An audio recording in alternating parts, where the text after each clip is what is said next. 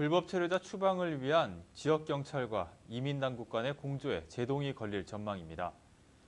캘리포니아주 하원은 지역경찰이 추방을 목적으로 불법 이민자들을 구금하거나 이민당국에 통보한 것을 금지하는 내용의 법안인 AB 1081을 통과시켰습니다.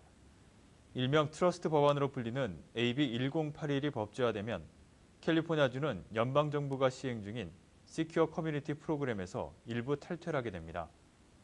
중범이나 전과 기록이 있는 불법 체류자들을 체포했을 경우 이들의 신원을 이민 당국과 공유하게 되지만 경범죄자들은 신원 정보 공유 대상에서 제외됩니다.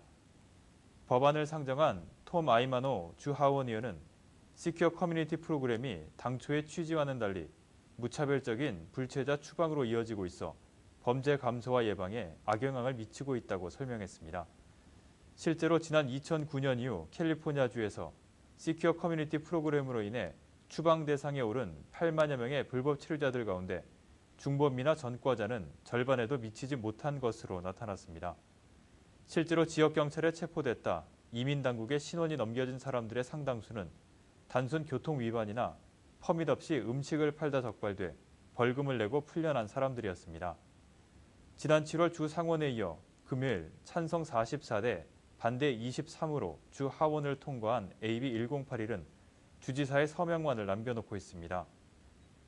민주당의 강력한 지지로 주 의회를 통과하긴 했지만 브라운 주지사가 법안에 대한 어떤 입장도 밝히지 않고 있어 거부권을 행사할 가능성도 배제할 수는 없습니다.